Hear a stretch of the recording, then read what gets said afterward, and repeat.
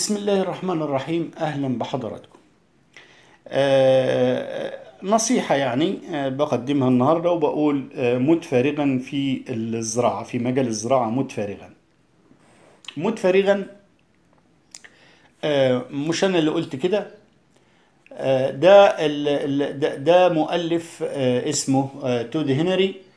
في سنة 2013 آه، عمل ألف كتاب اسمه داي امبتي أو موت فارغا موت فارغا آه، خد الفكرة بتاعت ال- ال- الكتاب دي منين يا جماعة؟ واللي طبعا حقق آه، نسخات عالية جدا وكانت ليه ضجة جامدة الكتاب ده. فخد الفكرة بتاعته منين؟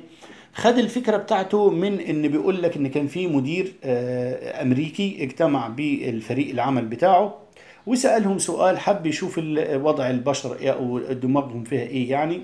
فقال لهم يا جماعة أغنى مكان في الأرض فين؟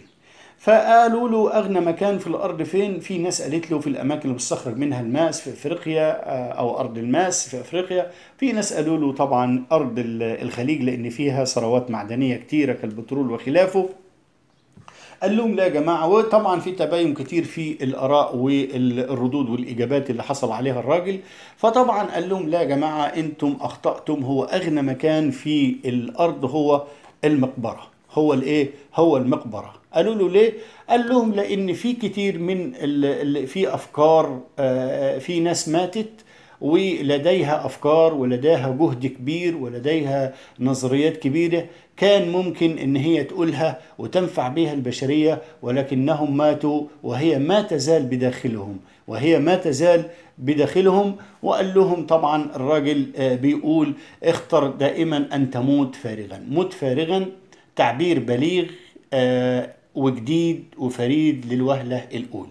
أنا قلت المقدمة ديت ليه يا جماعة؟ قلت المقدمة دي عشان كنت عايز أزور مزرعة معينة في دولة عربية إسلامية تمام؟ وطبعا آه، قال لك لا ما تزورهاش لأن فيها تكنولوجيا عالية. تكنولوجيا عالية يعني إيه؟ يعني أنا مش فاهم تكنولوجيا عالية يعني إيه؟ يعني آه، فيها إيه؟ أنا مش فاهم. تكنولوجيا عالية. المهم يعني اتصورت المزرعة. قال لك لو حتى هتدخل يبقى تدخل من الخارج بس تبص من خارج ممنوع تدخل جوه والكلام ده كله. طبعا هيطلع لك كذا فيلسوف يقول يا عم العلم بتاعي علم إيه أبو علم؟ علم إيه أبو علم؟ علم إيه أبو علم أنت كمان؟ العلم إن ربنا يكرمك في النبات بتاعك دهوت وإن إن إن إن ربنا قال أأنتم تزرعونه أم نحن الزارعون. فمت فارغا من كل آه، شيء آه، كويس في داخلك. طلع الطاقات الكاملة اللي في داخلك ما تموتش بصحتك ما حدش بيقول لك هين نفسك ولكن اتقن العمل بتاعك وموت فارغا من ال ال كل الطاقة الإيجابية اللي عندك إذا كانت أفكار إذا كانت خدمات للبشرية إذا كان إز إز إز إز لحد الصبح تمام؟ آه بقول لك آه يعني خلي ال- الموت فارغا حتى النبي عليه الصلاة والسلام يعني أنت تموت فارغا إزاي؟ النبي عليه الصلاة والسلام قال إذا مات أحدكم إذا مات إذا قامت الساعة وفي يد أحدكم فسيلة اللي هي شتلة النخيل الصغيرة واستطاع أن يغرسها فليغرسها. تمام؟ إسرافيل نفخ في الصور وكل الدنيا قايمة وأنت في إيدك فسيلة. لو- عرفت تغرسها النبي قال لك اغرسها ليه؟ لأن اعمل لدنياك كأنك تعيش أبدا وأعمل لآخرتك كأنك تموت إيه؟ تموت غدا. تمام؟ فليه ما نكونش ليه ما نموتش فارغا في الزراعة؟ كل اللي عندك طلعه. ال social media مليانة. بس أهم شيء أول حاجة إنك أنت ما تاخدش مجهود حد. تاني حاجة إنك أنت آه، تكون المعلومة اللي عندك معلومة صحيحة ومتجربة عشان برضو ما تضرش حد لا آه، إن لا ضرر ولا إيه ولا ضرر. موت فارغا تعبير بليغ جديد وفريد للوهلة الأولى. آه، تظن إن هو عادي ولكن تموت فارغا من هموم الدنيا من ألمها من المعاصي والأسام من كل شيء. تموت فارغا به. حتى لو أنت بتحب المدام ولا أنا بحبك بلاش تكتم كلمة الحب يعني في قلبك تمام؟ آه، فموت فارغا في الزراعة. كل الأفكار اللي عندك يا ريت تقولها لأن أنا لما حصل معايا كده أنا قلت هو يعني اللي أنا ساذج للدرجة دي مثلا يعني. لا مش ساذج ولا حاجة بس هو آه طبعا آه ربنا سبحانه وتعالى آه بيزين لكل أمة عملها وبيزين لكل واحد عمله. ممكن نعمل المعاصي والمشاكل وربنا مزينه لنا يعني آه إن ده خلاص هو انت خدت على كده فربنا طبع على قلب الإنسان فزينه له ان هو الشيطان طبعا اللي زينه له إن ده هو آه عمل آه كويس جدا إنك تحجر على العلم اللي في دماغك. تمام؟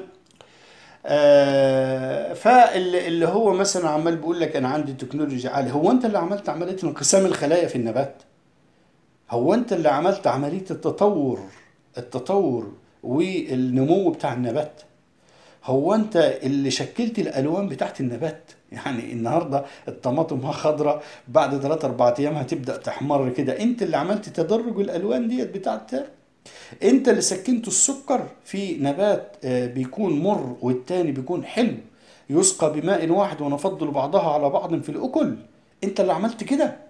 ولا انت انت اللي عملت التكنولوجي ده يعني؟ انت اللي, اللي خليت آه، ال- ال- ال- الزيتون يتحمل ونخيل البلح يتحمل الأملاح والفاصوليا والفراولة ما بتتحملش ولو ريحه أملاح؟ انت اللي عملت كده. هو سيادتك اللي انت عملت العناصر ال 23 اللي موجودين في الطبيعة دول هو انت اللي عملتهم؟ هو انت اللي عملتهم ولا ربك اللي عملهم؟ انت اللي حطيت الأكسجين والنيتروجين وثاني أكسيد الكربون. انت اللي عملت الإضاءة اللي لولاها اللي هي الشمس والقمر. لولاهم ما كان في أساسا أي نبات لعملية البناء الضوئي. طب سيادتك خد الزرع اللي سيادتك بتوع التكنولوجيا بتاعتك وحطه في أوضة مظلمة وشوف النمو بتاعه هيعمل إزاي. ولما تشوف كده تقوم تتوضى وتصلي ركعتين لربنا وتموت فارغا من كل اللي في دماغك. خليك محترم دخلت الدنيا محترم. ما تفقه شيء تخرج اخرج من الدنيا زي الشيخ الشعراوي قال لك وانت أنا مش أنا مش شيخ والله ولا حاجة. أنا بقول لكم أنا ممكن أكون أي حاجة أعتبرها. ولكن أنا بقول لك على حقيقة ممكن ما أكونش بعمل اللي أنت اللي أنا بقوله ولكن ربنا سبحانه وتعالى يسامحني أنا بقول والله اللي أنا شايفه. تمام؟ ها تعمل باللي أنا بقوله أهلا وسهلا. مش عايز تعمل اللي أنا بقوله. آه، أهلا وسهلا. فموت فارغا في الزراعة. جارك فلاح. جارك مزارع شفت عنده غلط شفت عنده بوادر ندوة وانت الواد الفت تقول له يا عم في بوادر ندوة هات شوية آه، مبيد نحاس ولا شوية منكوسيب ورش الأرض بتاعتك ولا أي حاجة. شفت شوية بوادر بياض دقيقي شفت بوادر ما تقولش لا ده هيعديني لا مش هيعديك ولا حاجة. الرزق وفي السماء رزقكم وما إيه وما توعدون. فورب السماء والأرض إنه لحق مثلما أنكم تنطقون. لدرجة إن أحد العلماء بيقول لك إن هو يعني يعني صرخ وقال مين أغضب الرحمن حتى يقسم بذاته يعني في مسألة الرزق يعني في مسألة الإيه؟ في مسألة الرزق. وبيقولوا إن في أحد العلماء آه، شاف ال- ال- القطة ال- القطة آه، كات يعني آه، سماها زي ما تسميها أو البسة زي ما تقول. تمام؟ زي ما تقول يعني لو انت من الطبقات الارستقراطية هتقول كات لو انت من الطبقات النص نص هتقول قطة لو انت من الطبقات الفلاحين المعدومين زي هتقول بسة؟ تمام؟ اتفقنا. أو في الخليج برضه بيقولوا بسة مفيش مشكلة خالص. المهم لو إيه آه ال الامام آه شاف ال ال ال ال القطة بتاخد ال بتاخد ال اللهم صل على سيدنا محمد بتاخد آه، قطعة لحمة وجرت فقال والله لا اتبعنها فالمهم جري ومشي وراها فلقاها إيه وقفت قدام جحر وحطت إيه حطت حتة اللحم. فانتظر الإمام فقال لقيت ثعبان طالع ولكن الثعبان أعمى لا يرى. فقلت سبحان الله يعني لما الثعبان ما كانش ما كان كان أعمى لا يرى فربنا سبحانه وتعالى ألف ما بين قلبه وقلب القطة رغم إن إيه اللي في بينهم من العداوة ما فيه يعني تمام؟ ما بيحبوش بعض خالص تمام؟ ولكن لما لما ربنا جعل رزقه على القطة دهيت فشوف هي عملت إيه وألف بين قلوبهم عشان آه، تكون سبب في الرزق الواحدة الرزق تمام؟ فما تخافش من فوات الرزق طالما طالما خزائن ربنا سبحانه وتعالى موجودة. آه، سيدنا آه، سليمان بن داود زي ما بنقرأ في الأثر إنه هو طبعا آه، سأل النملة وكان طبعا آه، كان بي- بيفهم لغة الطير وال- والحيوان وكل شيء. فالمهم قال لها أنت بتاكلي كم آه، حبة قمح في السنة؟ قالت له باكل حبتين. فالمهم خدها وحبسها في قارورة يعني زجاجة وقفل عليها وبعد ما مرت سنة جه لقاها كلت إيه؟ كلت حباية واحدة وسابت الحباية الثانية.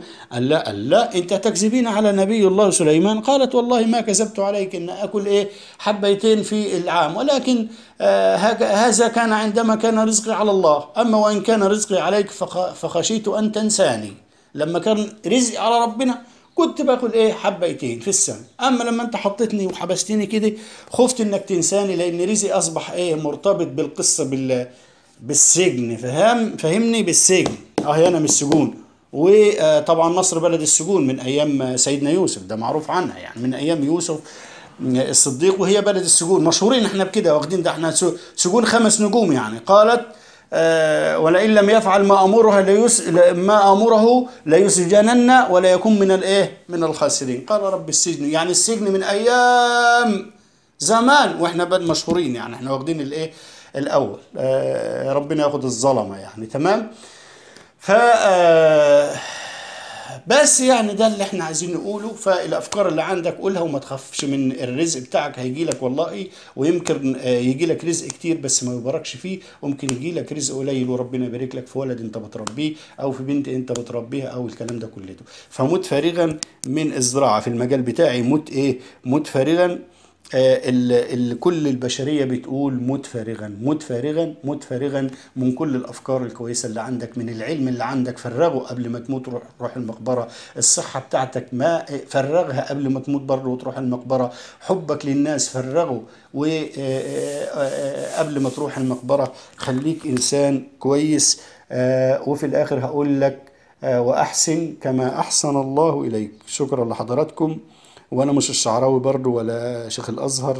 شكرا لحضراتكم. والسلام عليكم ورحمة الله تعالى آه، وبركاته.